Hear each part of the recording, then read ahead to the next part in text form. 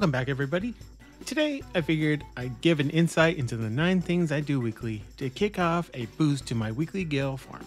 I found by doing these early in the week, not only does it boost my Gil, but it frees up the remainder of my week to try new ways of farming Gil. So here are 9 things you should do every week to boost your Gil reserves.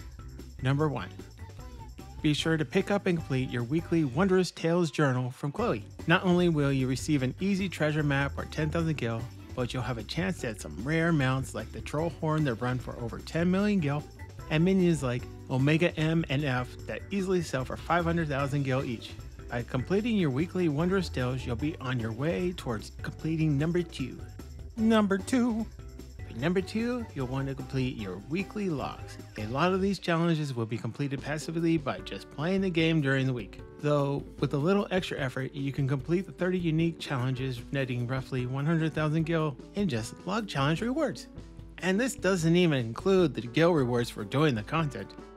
To make this easier, I tend to focus on prioritizing logs that will help me finish certain tasks I'm working on. For instance, I'm currently leveling in Eureka, so I will prioritize these logs early in the week.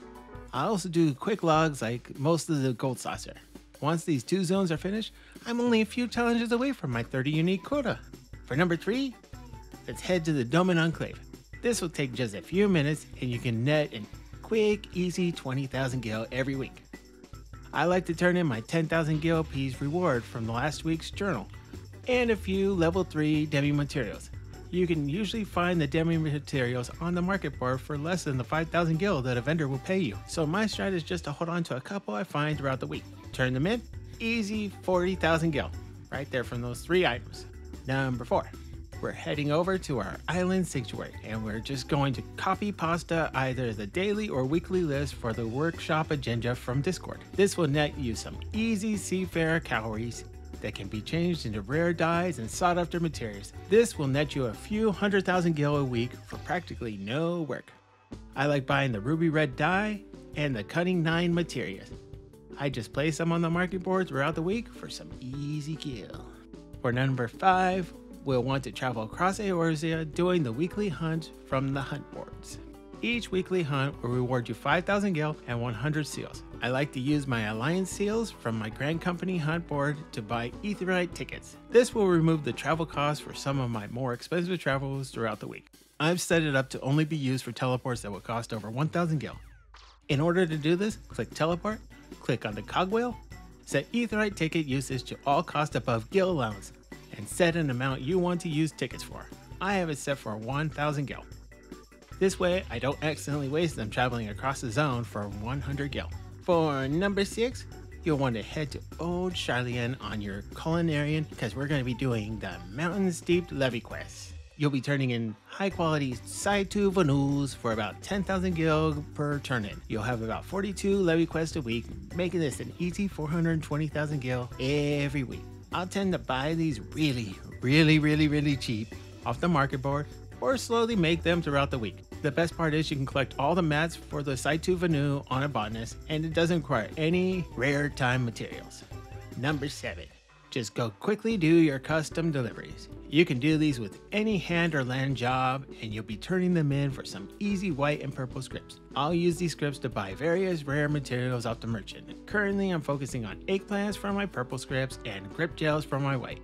Every now and then, a client will feature a quest with a bonus that rewards additional scrips on completion. I'm not doing these bonuses yet because I'm currently still completing all the clients on this character. I've just unlocked M'naago and Kurenai this week. With the level 90 crafter, this is an easy set of quests and can net you some quick, easy gil. Number 8.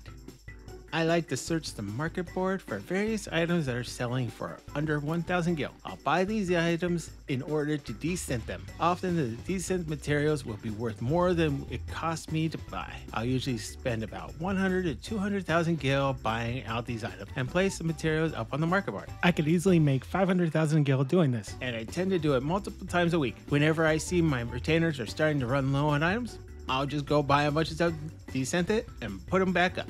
This takes next to no work and I can easily do it sitting outside my house and watching YouTube. The best kind of farm. Number 9. This is my biggest farm for the week and I recommend it for everybody. I will head over to Saddlebags and look up all the medium sell items for collectibles and furniture on the various data centers that I can buy and flip on my server. Currently, they haven't updated this list to include the recently opened Oceanic Data Center, but hopefully they will add this to the list soon. While I'm on the various servers, I have various items that I have favorited so I can quickly look them up as well to see if anyone is selling them for far below the normal price. This week, I'm also in the lookout for new casual and Kupo coffers to sell the glams for. So I'm also looking if there's any of them for super cheap as well. During this flipping session, I will usually buy about 25 million gil worth of items and hopefully sell most of them during the week. I like to buy a vast amount of items in order to protect myself from losing gil. Flipping will get better with more experience. The more you flip, the more you'll start to understand which items sell quickly and which items to avoid buying. Look at you, orchestrion rolls. So, by following these 9 weekly tests, you'll be well on your way to building up your gil reserves. Thanks for watching the video and don't forget to subscribe to this channel for more gaming tips and tricks. Have a wonderful rest of your day. Bye.